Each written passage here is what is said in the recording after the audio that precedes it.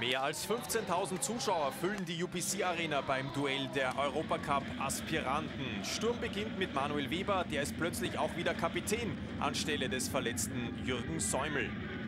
Rapid spielt ein 4-3-3 mit drei Veränderungen und die Wiener gehen dann schnell in Führung. Und zwar in der siebenten Minute. Da trifft Marcel Sabitzer zum 0 zu 1. Sabitzer wird diesmal als Solospitze aufgeboten und freut sich über sein sechstes Saisontor, das dritte für Rapid. Dabei profitiert er natürlich von diesem herrlichen Zuspiel von Deni Ala. Davor gibt es schon den Zweikampf Trimmel gegen Florian Kainz, aber das war kein Foulspiel und die Partie läuft auch richtigerweise weiter. Bei Sturm bringt Trainer Schopp in seinem zweiten Spiel vier neue in der Startformation und die Grazer laufen diesem Rückstand nicht lange nach. Wir sind in der zwölften Minute. Da ist Florian Kainz im Doppelpass mit Imre Sabic. Trimmel greift ein, aber Hölzl trifft und das ist der Ausgleich.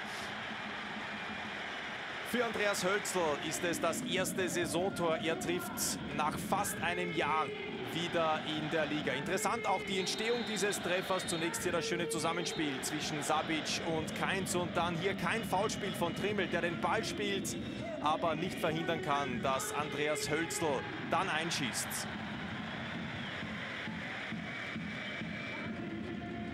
Ansonsten kann Soran Barisic nur wenige Höhepunkte notieren. Es gibt nicht allzu viele Torchancen. Rapid hat aber noch eine richtig gute vor der Pause. Und zwar durch Guido Burgstaller, der mit diesem schönen Schuss nur die Latte trifft. Pech für den Rapidler. Die Gäste haben in den letzten Minuten vor der Pause insgesamt die helleren Momente. Da ist wieder Deniala und dann gibt es hier den Zweikampf. Grozorek gegen Ehrenreich. Die Rapidler fordern vehement einen Elfmeter. Burgstaller sieht da sogar gelb und ist damit im nächsten Spiel gesperrt. Und die Proteste gab es zu Recht. Hier hätte es einen Strafstoß für Rapid geben müssen. Glück für Sturm, somit steht es zur Pause 1 zu 1 und es ist noch alles offen beim Heimdebüt von Sturmtrainer Markus Schopp. Nach dem Seitenwechsel kommt Christoph Kröpfel für Florian Kainz und der hat dann gleich eine gute Möglichkeit. Hier nach dem Zuspiel von Sukuta Pasu, aber Kröpfel trifft das Tor nicht. Das Spiel ist weiter sehr ausgeglichen. Dann folgen ein paar hektische Minuten. Wir sind in der 66.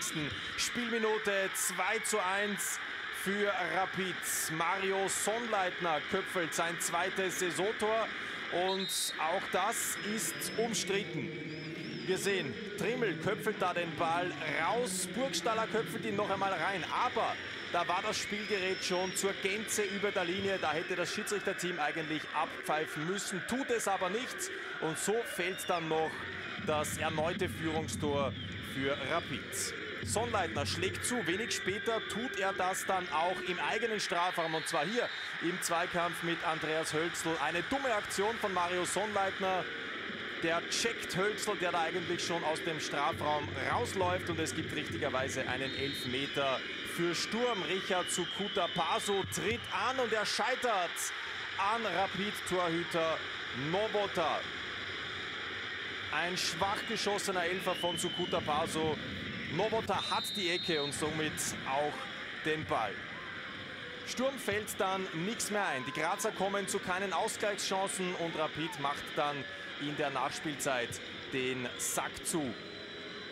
Da ist der eingewechselte Dominik Stakel in seinem vierten Bundesligaspiel. Da tanzt er durch die Reihen wenig Gegenwehr bei Sturm. Und Stakel erzielt sein erstes Bundesligator mit einem schönen Abschluss. Da war die Sturmdefensive anscheinend mit den Kräften schon am Ende.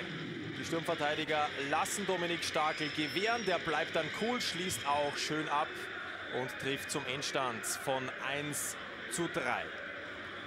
Rapid gewinnt am Ende etwas glücklich in Graz und feiert den ersten Auswärtssieg im Frühjahr. Der Trainer ist natürlich zufrieden.